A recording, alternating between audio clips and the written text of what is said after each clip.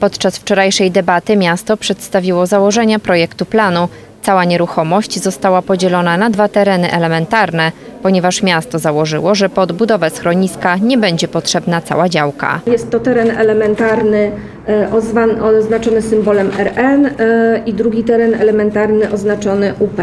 I o ile teren elementarny RN jest to e, pozostawienie przeznaczenia rolniczego tej części nieruchomości e, z zakazem e, jakiejkolwiek zabudowy, e, podziałów geodezyjnych. o tyle e, teren UP jest tym terenem właśnie, e, który jest w zainteresowaniu e, nas wszystkich dzisiaj i jest to teren, dla którego przewidziano przeznaczenie teren zabudowy usługowej, usług publicznych, e, skonkretyzowany jako schronisko dla zwierząt. Zatem żadne inne usługi na tej e, nieruchomości e, się e, nie pojawią. Miasto przewidziało do zabudowy powierzchnię nie większą niż 30% wyznaczonej działki, powierzchnię biologicznie czynną minimum 50% i wysokość zabudowy nie większą niż 10 metrów. Przewidzieliśmy tutaj geometrię dachów dowolnych, gdyż tutaj e, kwestia rozwiązań architektonicznych e, ostatecznie pokaże, czy to będą zasadne e, dachy płaskie, czy też dachy dwu- bądź wielospadowe. W zależności od dalszych rozwiązań, bo możemy przyjąć e, na przykład e, fotowoltaikę na dachu, więc wtedy będziemy mieli jakiś kąt em, połaci dachowych, bądź też e, jeżeli te dachy płaskie będziemy chcieli też wykorzystać do jakiegoś innego zagospodarowania.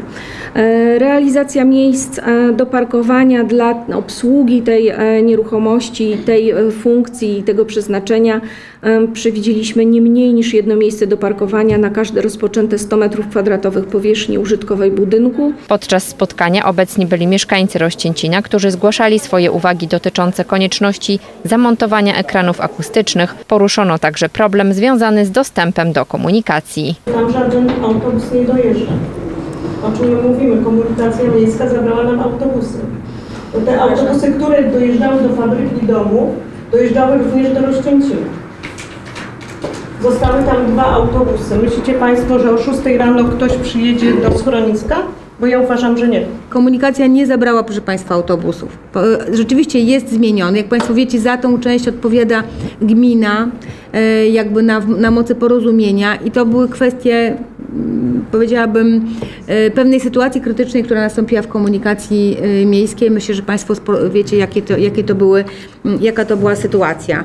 E, Brak e, k- kierowców, do tej pory tych kierowców szukamy. Podnoszono również kwestię ścieżki rowerowej, chodników oraz przejść dla pieszych. Podczas spotkania radni Rady Gminy dowiedzieli się, że budowa schroniska ma być wspólną inwestycją miasta i gminy, czego jak mówili, nie byli świadomi. My jako radni od początku byliśmy informowani o tym, że to będzie inwestycja miasta. Y, Żeby sprawa była jasna. Ja nie słyszałem o tym y, kiedykolwiek na komisji czy na sesji, żeby wójt powiedział, że, że będziemy musieli partycypować w kosztach y, już konkretnej budowy tego schroniska.